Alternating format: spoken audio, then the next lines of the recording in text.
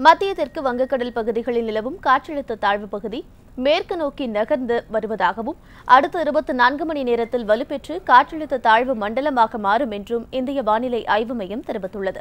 இதன் காரணமாக தமிழகத்தின் பல இடங்களில் கனமழையும் ஓரிரு இடங்களில் மிக கனமழையும் இருக்கும் என்றும் தென்மேற்கு வங்கக்கடல் மற்றும் மன்னார் வளைகுடா பகுதிகளில் பலத்த காற்று வீசும் என்பதால் இன்றும் நாளையும் மீனவர்கள் கடலுக்கு செல்ல வேண்டாம் என்றும் இந்திய வானிலை ஆய்வு மையம் அறிவுறுத்தியுள்ளது.